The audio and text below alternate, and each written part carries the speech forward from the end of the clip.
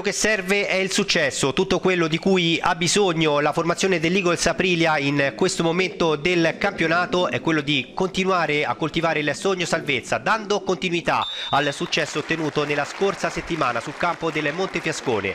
Un cordiale buonasera da Enrico Pasquali Coluzzi al Palamiucci di Aprilia, si affrontano dunque per quanto riguarda il campionato eh, di Serie C girone unico di futsal, l'Eagles Aprilia in maglia blu e la Virtus Fenice in maglia giallo verde, eh, suo tiro in fallo laterale, bene dalla Mascoli.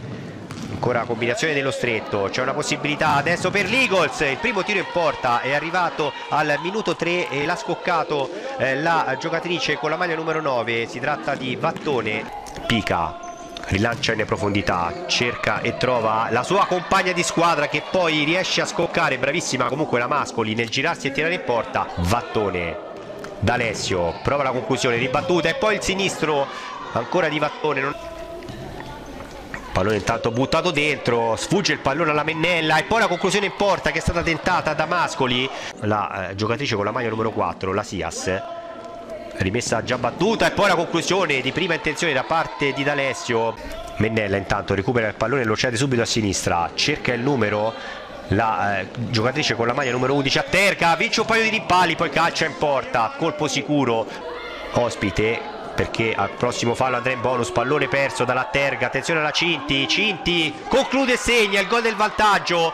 Un tiro di punta che ha lasciato impietrita Mennella dunque soluzione vincente da parte della giocatrice con la maglia numero 9 adesso la giocatrice in maglia giallo-verde e poi il tentativo da parte della eh, numero 2 Troncacci che sembrava essere andata a buon fine invece alla fine il pallone è stato liberato. Viene coinvolta ancora Sias. Cinti che prova con l'esterno sinistro una giocata eh, balistica notevole. Giondi apre il gioco a destra Troncacci D'Alessio la conclusione di D'Alessio. Tiro che non impensierisce Pica. E poi c'è il pallone conquistato da Giondi che riesce a pareggiare i conti. Errore clamoroso da parte di Pica. Ha rilanciato praticamente eh, dalle parti di Giondi che non l'ha perdonata. Gran gol dunque eh, della eh, giocatrice con la maglia numero 8 capitano della squadra. E parità raggiunta dall'Eagles ma c'è stato un regalo di Natale un po' ritardato dobbiamo dire dell'estremo difensore poi dall'altra parte intanto c'è una spinta si prosegue e arriva il gol del vantaggio da parte eh, di Mascoli. Botta e risposta Mascoli è andata a segno. Giondi contro Pica.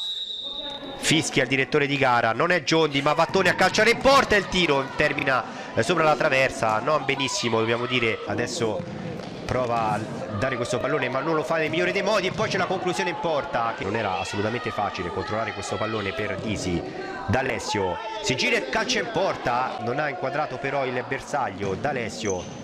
Sfuma dunque questa occasione poi D'Alessio va a rubare la sfera e va a calciare di prima intenzione. Nessuna delle due squadre riesce a far valere la propria personalità. Intanto c'è questa sola la conclusione in porta. A colpo sicuro che è stata tentata dalla Terga. Capo però è finito. Torna nuovamente Ligos con D'Alessio che prova con il destro e poi con il sinistro. E il pallone termina in fondo al sacco dovrebbe essere gol. È così ha segnato dunque eh, D'Alessio che con eh, convinzione ha provato prima il destro e poi il sinistro. C'è soltanto D'Alessio in barriera probabilmente servirebbe una giocatrice in più il tiro in porta non sembra irresistibile ma eh, trova comunque il bersaglio errore di valutazione da parte di Mennella il pallone infatti eh, finisce proprio sotto le eh, sue gambe. Arriva dunque il 3 a 2 due persone in barriera. Avrebbe forse dovuto farlo prima. Altro tiro in porta respinto nuovamente questa volta con autorità da Mennella ancora nuovamente dall'Eagles Giondi apre ancora per eh, Leopardi che poi calcia in porta di prima intenzione dopo aver ricevuto un bel pallone da Alessio visto un fallo di mano da parte eh, di Mascoli nel controllo poi va a disturbare la stessa Mascoli la giocatrice avversaria e poi c'è la conclusione in porta da parte di Atterga sempre pica però. Intanto D'Alessio aspetta a rimorchio qualche eh, sua compagna di squadra. C'è tanto questo pallonetto che termina sul fondo dopo aver colpito la traversa. Rimane dunque arroccato in difesa E poi arriva il gol a sorpresa, incredibile, ha calciato direttamente in porta. La calciatrice con la maglia eh, numero 13 Disi, non ce l'aspettavamo e non se l'aspettava neppure Mennella che non doveva intervenire in questa circostanza perché ovviamente il gol non sarebbe stato regolare.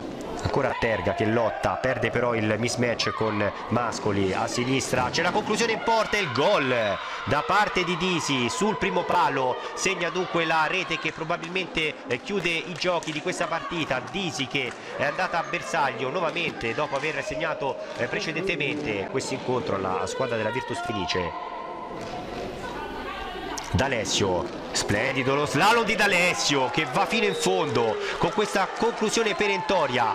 Si è liberata nello stretto di due giocatrici avversarie e poi è, andato, è andata alla conclusione è riuscita dunque a segnare squadra che comunque ci sembra migliorata dall'inizio eh, del campionato e finisce qui dunque questo incontro con il successo eh, della Virtus Fenice 5-3 in casa dell'Eagles Aprilia che dunque dovrà cercare eh, ovviamente di cambiare marcia, di cambiare passo già a partire dalla prossima eh, settimana al prossimo weekend eh, deve infatti cercare assolutamente eh, i punti salvezza che al momento che in questa circostanza non sono arrivati. Ed è tutto dunque da Enrico Pasquali Coluzzi. Un cordiale buonasera e a risentirci agli amici di Mondo Futsal